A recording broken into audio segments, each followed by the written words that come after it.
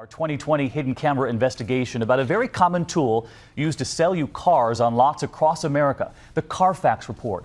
Perhaps you've seen the ads that sly fox on TV, 40 bucks and you get the history of the car you're looking to buy. But is that the full history? Show me the Carfax. In the ads, that fox ready to bust any used car dealer who doesn't show you, the buyer, the Carfax. What do you guys got? Some kind of crystal ball? Nope, she's got a Carfax. But we wanted to know does the Carfax report really tell you everything about that used car you're buying? And what do the dealers tell you? 2020 putting it to the test. Right now you are recording. Our producers heading out with uh, hidden cameras, uh, shopping for used cars. At this dealership in New Jersey, we meet Rico, asking him to show us this 2011 Mazda CX-7 and this 2011 Hyundai Sonata.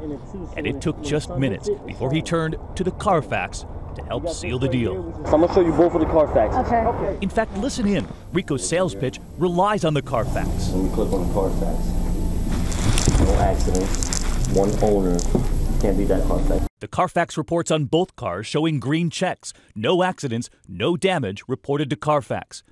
But what Rico and the dealership didn't know was that we would do our own research on those two cars. One of Carfax's competitors revealing that that Hyundai had actually been in a rear impact collision, and that the Mazda was not only in an accident, but a multiple impact collision. The police report we obtained showing it was the car in the middle, hit in the front and the back, and we weren't about to be outfoxed. Hey Rico, I'm David Muir with ABC News. We have a few questions about how you use the Carfax in selling your used cars. Okay. About to reveal the true history of that Mazda. But we have a police report right here which says the Mazda was in a major accident. Not only that, we contacted the former owner of the Mazda who told us he was in that accident and they were the middle car.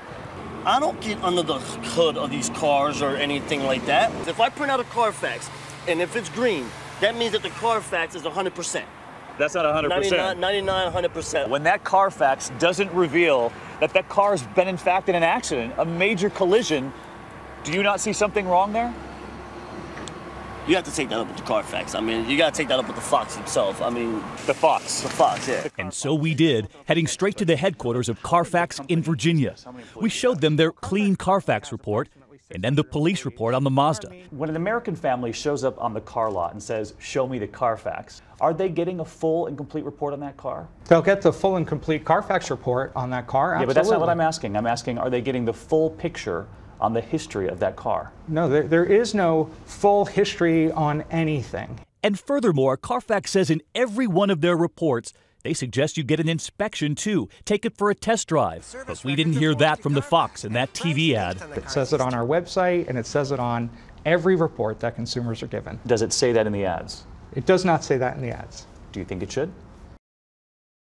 You'll hear how he answers that question and much more should the ads be changed, plus an alert tonight about America's most troubled bridges and the dangerous debris on America's highways crashing into your windshield. The eye opening report tonight on a special 2020 Highway Confidential. We hope you'll join us later tonight.